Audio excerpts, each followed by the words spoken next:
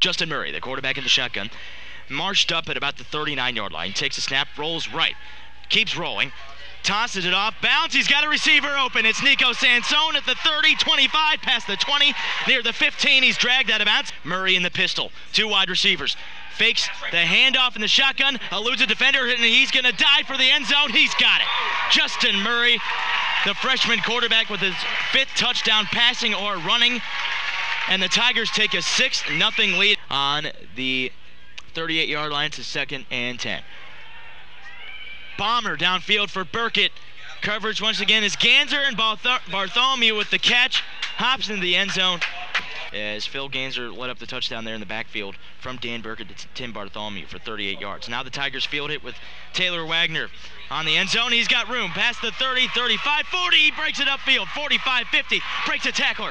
Past the 45 near the 40. The preseason All American. Taylor Wagner. He took one back at Sewanee last year and he almost broke one once again.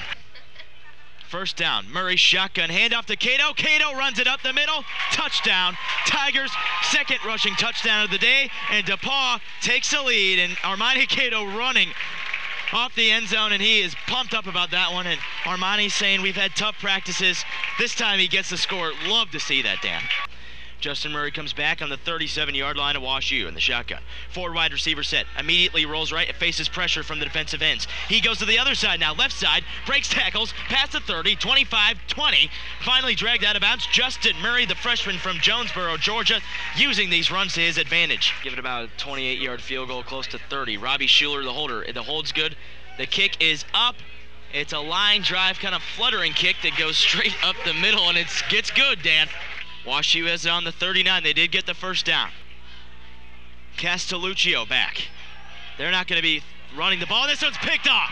O'Connor throws it. The ball's picked off by J.D. Robinson. Takes it to the 40. And DePauw likely is going to finish this ball game off and get their first win of the year. And the Tigers have won the football game. They are 1-3 with a 17-14 win.